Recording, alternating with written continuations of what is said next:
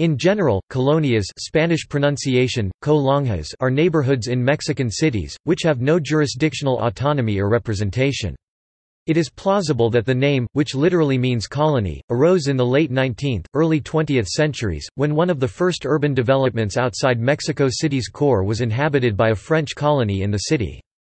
Usually colonias are assigned a specific postal code, nonetheless, in recent urban developments, gated communities are also defined as colonias and share the postal code with adjacent neighborhoods. In spite of this, the name of the colonia must be specified when writing an address in large urban areas in Mexico.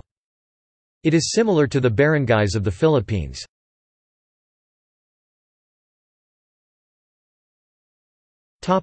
See also